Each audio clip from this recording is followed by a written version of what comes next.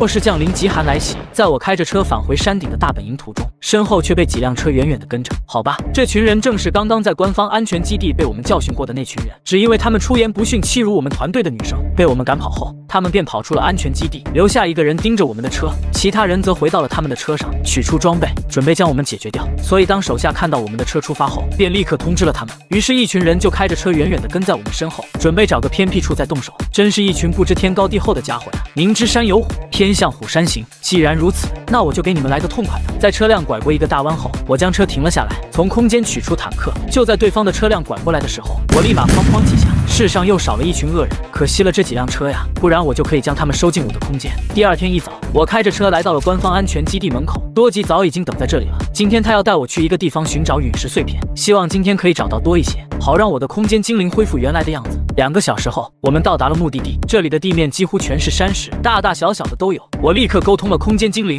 让他感应周围的陨石陵园，很快脑海里就传来了空间精灵的声音：“主人，我感应到了陵园，在你的前方五十米左右。”我按照空间精灵提示的位置走了过去，见是一个小土坑。我从空间取出铲子，一顿操作后，挖出了一个手指大小的红色陨石。我继续向前走路，让空间精灵继续感应。一个多小时后，我又找到了三颗小的陨石。这个区域都已经搜寻过了，应该是没有了。这时，多吉提出可以去马怒湖那边看看，因为他爸爸说之前在那里见过到这种红色的石头。于是，我们又向马怒。湖方向出发，二十分钟后，我们便到达了目的地。这个湖不算很大，湖泊里的水已经冻结成冰。刚下车，空间精灵就在我的脑海里激动地叫了起来：“主人，主人，我已经感应到了灵源，并且能量还不小。”我来到了空间精灵说的位置，使劲的挖了起来。果然，这个陨石比刚刚的大多了。两个多小时后，我又找到了三个陵园，不过都是小的。随后，我带着陵园进入到了空间，将这些陵园都喂给了空间精灵。好吧，空间精灵竟然一点都没变化，这到底需要多少的陵园才能将你恢复原来的模样？回到了本体，我将多吉送回到了官方基地门口，